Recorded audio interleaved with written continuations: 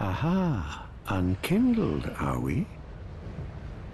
Welcome to my abode. I am Cornyx, an old pyromancer. A crow in his cage, as you see now. But here we are, an encounter for the ages. I hear the unkindled make for fine vessels. Care to learn some pyromancies from this old man? Ah, most wise. A chance encounter should not be squandered.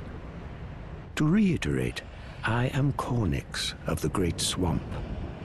The pleasure is mine.